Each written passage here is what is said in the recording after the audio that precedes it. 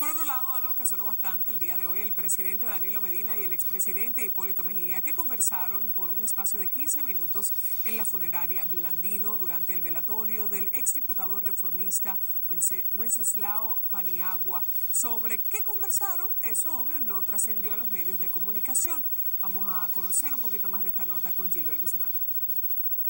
Los otroras rivales de la pasada campaña presidencial se encuentran de forma sorpresiva en la funeraria Blandino. El murmullo y los comentarios en aquel lugar solemne fue notorio. El presidente Medina a su salida no dio declaraciones. El expresidente Hipólito Mejía rehusó dar detalles de lo tratado con el jefe de Estado, aunque sí tocaron algunos temas. Él y yo somos amigos hace mucho tiempo, pero él en su casa y yo en la mía. Él en su PLD y yo en el PRD. Pues podemos ser amigos. ¿Por qué? Usted es amigo de un contrario suyo. Por eso. En un año. Otro que acudió a la funeraria Blandino fue el presidente del PRD, Miguel Vargas, minutos después de la partida de Mejía. Estatutariamente está claro que la fecha mínima para hacer la convención es en febrero del 2014. Eso no hay que no está en discusión. Vamos a tratar de que se pueda hacer para esa fecha. Vargas le advierte a Mejía que no tiene derecho a asistir a la reunión del Comité Ejecutivo Nacional, que será convocado para una próxima fecha. ¿La convención sigue tiene que ser, tiene que ser. El cambio de... El presidente del PRD dijo que hasta el momento el padrón para la convención que pide el sector de Mejía no se ha comenzado a confeccionar. Y el expresidente Mejía pidió consenso en el CEN que podría convocar Miguel Vargas Maldonado en los próximos días. En la avenida Abraham Lincoln, en Santo Domingo, República Dominicana, Gilbert Guzmán. Noticias Telemicro. A nivel internacional, 10 muertes, casas derribadas, barrios anegados y familias damnificadas son solamente parte de los estragos causados por el aluvión de 10 horas consecutivas caído el sábado y el domingo en Guayaquil, Ecuador. Aunque muchos intentaron salvar sus pertenencias, las calles se convirtieron literalmente en ríos con fuertes corrientes que arrastraron hasta los automóviles que se encontraban a su paso. Las autoridades declararon estado de emergencia en toda esa zona afectada producto de la gran devastación. De vuelta aquí en la República Dominicana, residentes de Jarabacoa expresaron su preocupación por las pretensiones de las autoridades por desviar el río Yaque del Norte para la construcción de la hidroeléctrica Manabao de Cucal. Jenny Acevedo fue hasta allí y nos trajo el siguiente reporte. Municipios de Jarabacoa, empresarios y grupos ecologistas participaron de una misa realizada en la calle Libertad como método de lucha para evitar el desvío del río Yaque del Norte desde Los Tajaos hasta la confluencia y así dar paso a la construcción de la hidroeléctrica Manabao-Bejucal-Tavera. Vienen más de 500 turistas durante el fin de semana a nuestro municipio.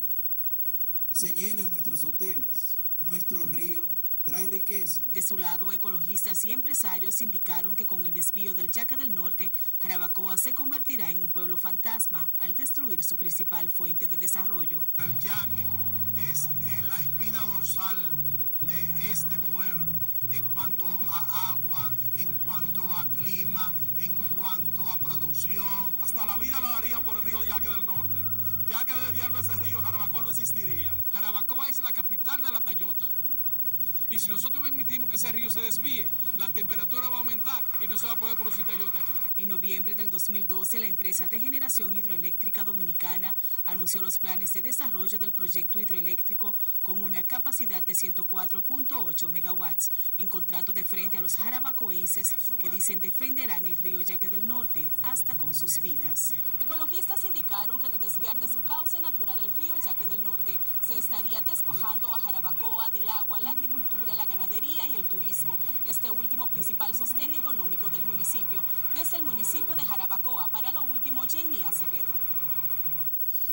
Cambiamos de tema, el gobierno inició la reconversión de los sectores productivos del Valle de San Juan, como nos cuenta nuestro compañero Gilberto Mateo en el siguiente reporte. Dar prioridad a las instrucciones del presidente de la República. Varios técnicos y funcionarios realizaron un recorrido en esta ciudad donde se estará trabajando en la reconversión del sistema productivo del valle. Estos afirmaron que ya tienen toda la logística para comenzar a trabajar.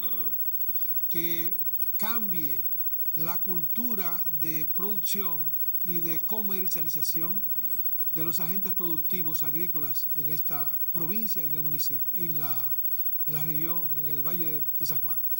En esa dirección, el señor presidente nos entregó la cantidad de recursos eh, suficientes para hacer este anuncio. Fueron recibidos por el gobernador de la provincia San Juan, la alcaldesa municipal y otros funcionarios.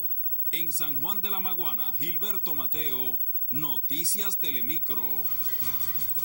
Policía está investigando un asesinato de un sargento de la institución en momentos en que se encontraba ingiriendo bebidas alcohólicas en las inmediaciones del establecimiento comercial conocido como El Jefe, el cual está ubicado en la calle Marcos del Rosario de los Minas.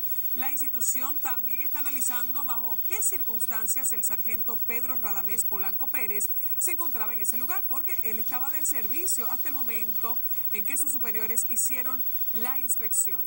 Según versiones de personas que no quisieron salir en cámara, el sargento cuyo cadáver fue trasladado a su natal Barahona murió en medio de una discusión con dos personas que todavía no han sido identificadas.